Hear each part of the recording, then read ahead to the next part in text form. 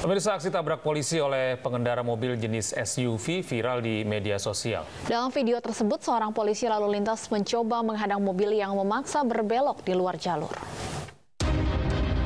Polisi ditabrak guys, oh.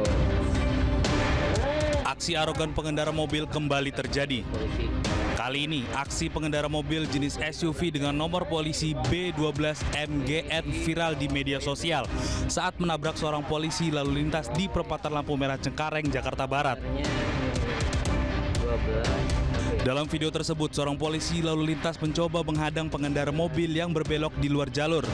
Namun, pengendara yang sudah diketahui identitasnya tersebut justru terus memaksa melintas dengan menabrakkan mobil ke Polantas.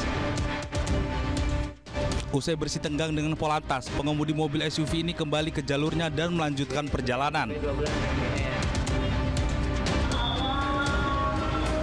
Satuan Lalu Lintas Polres Metro Jakarta Barat telah mengantongi identitas pengemudi tersebut. Jadi anggota kami uh, melakukan penghalangan untuk bisa uh, mengikuti jalur yang sudah ada.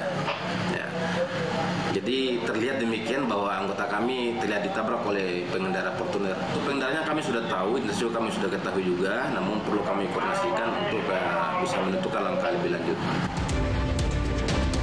Hingga kini, pengemudi mobil SUV belum dilakukan penangkapan dan masih dalam penyelidikan petugas kepolisian Satlantas Polres Metro Jakarta Barat. Dari Jakarta, Miftahul Gani melaporkan.